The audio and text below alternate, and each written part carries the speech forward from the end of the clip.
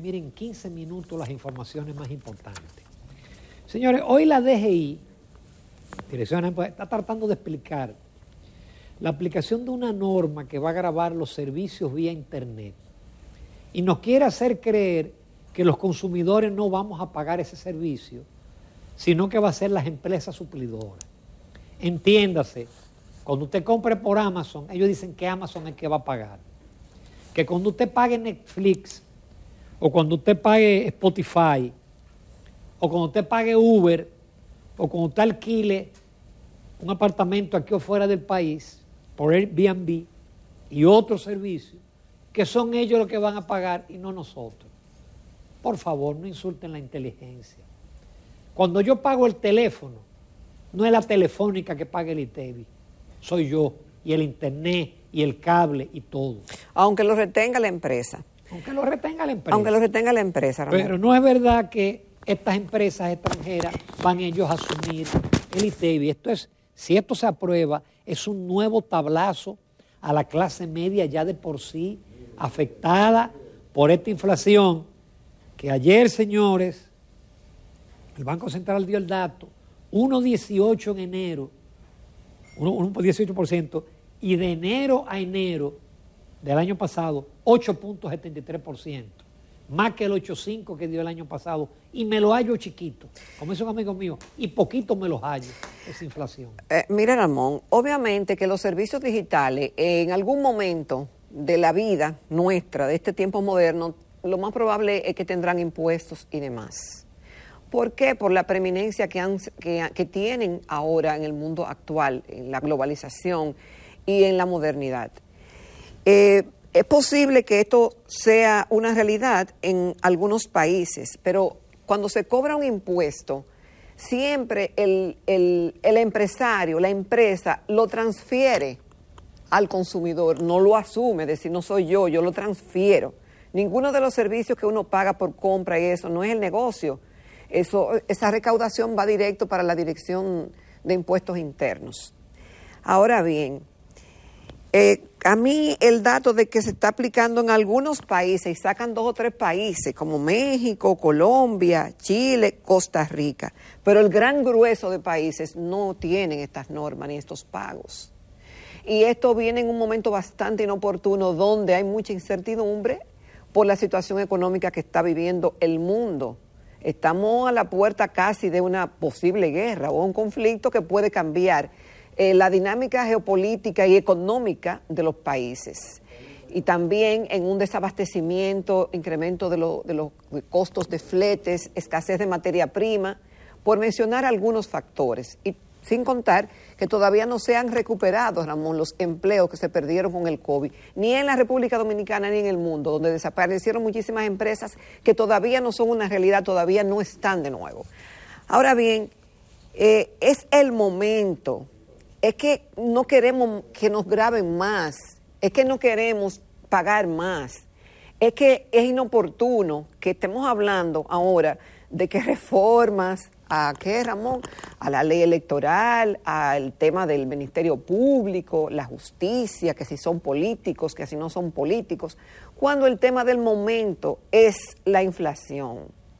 Algunos dirán, bueno, ustedes, así nos dijo un amigo televidente, Ramón, que me dijo, ni tú ni Ramón quieren reforma. Nosotros ni queremos ni no queremos reforma. Lo que estamos hablando es de una agenda nacional y de lo que pudiera ser importante. Yo, quería, la, yo quería la reforma fiscal, que es la principal de la reforma, y esa no se va a hacer.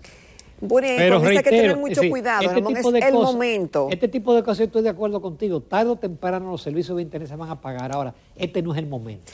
Así como el gobierno escuchando al oído en el pueblo, dijo, no es el momento para la reforma fiscal, este no es el momento para mayores gravámenes. Ramón, y el, argumento de que se hace en algunos países, hoy cuántas cosas no se hacen en muchísimos países del mundo, que son muy beneficiosas y que nada costarían para la República Dominicana y aquí no se implementan. ¿Y por qué no ponen el ejemplo país donde el ITEVI es un 10? Y es un 8. Hoy es un 7. Mira, por otro lado, hay una denuncia del señor Elifer Bueraz Díaz, director de la Unidad Técnica Ejecutora de los Proyectos de Desarrollo Agroforestales. Ese es un funcionario público. Mm. Él denuncia que una carretera Obras Públicas de Gonzalo Castillo pagó el 90% Ay, Dios mío. a una empresa. El 99, constru- Ramón. El 99, bueno, el 100.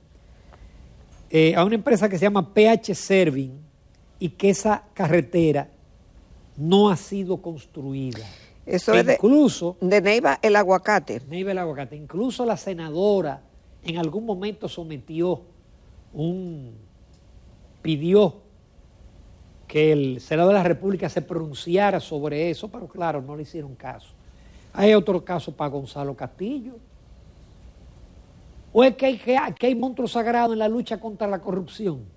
Hace año y medio que doña Milagro sometió el expediente del asfalto.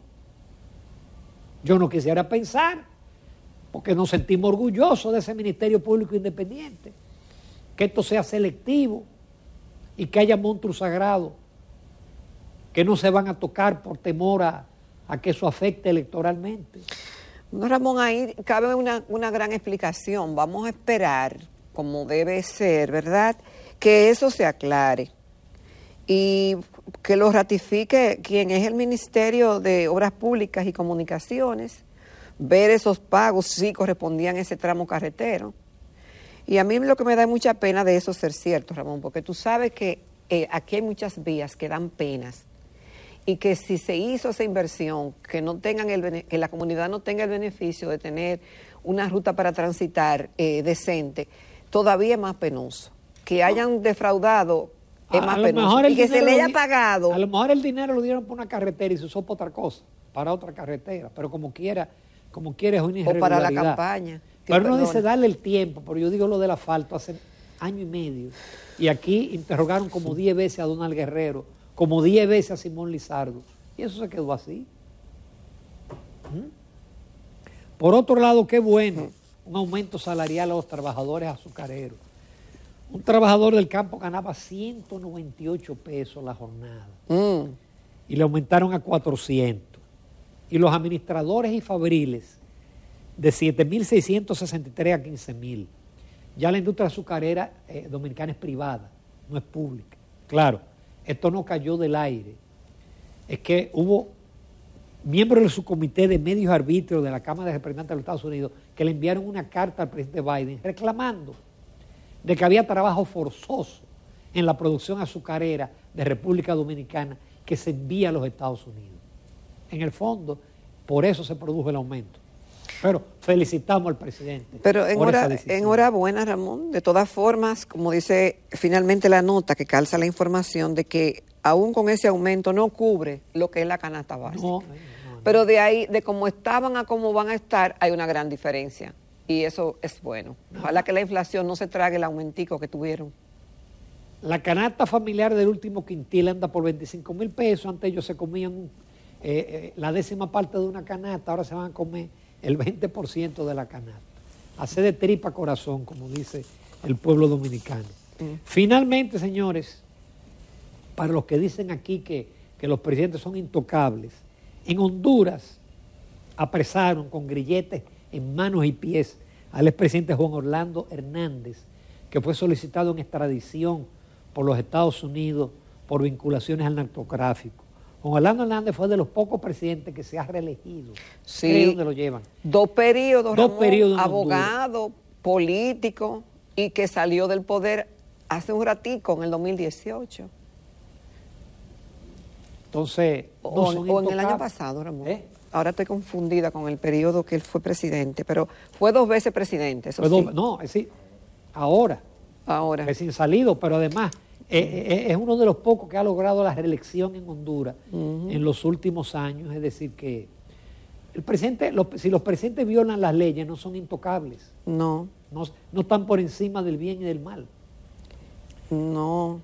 No se pierdan, Avales Televidentes, la entrevista con Roberto Rosario Márquez. Con Roberto tenemos la parte de la reforma constitucional, del fideicomiso y de temas también electorales.